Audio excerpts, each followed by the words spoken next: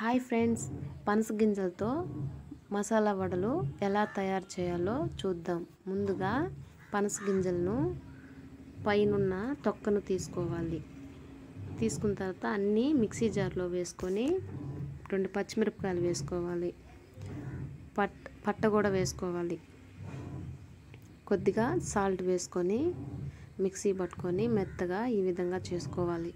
తర్వాత ఉల్లిపాయలు కరివేపాకు అల్లం పేస్టు శనగపిండి వేసుకొని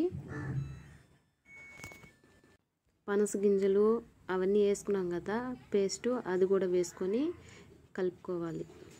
మసాలా పిండి ఎలా కలుపుకుంటామో మసాలా ఉడకి ఆ విధంగా కలుపుకొని ఇలా చిన్న చిన్న ఉండలు తీసుకొని చేత్తో ఇలా రౌండ్గా ఒత్తుకోవాలి. కాగిన నూనెలో వేసుకొని వడలు చేసుకోవాలి. ఈ వడలు చాలా రుచిగా ఉంటాయి. మసాలా వడలాగే ఉంటాయి. మసాలా వడ ఎలా ఉంటుందో అట్లాగే ఉంటుంది కానీ మనకు పనస గింజ టేస్టే మనకు అనిపించదు మీరు ట్రై చేయండి.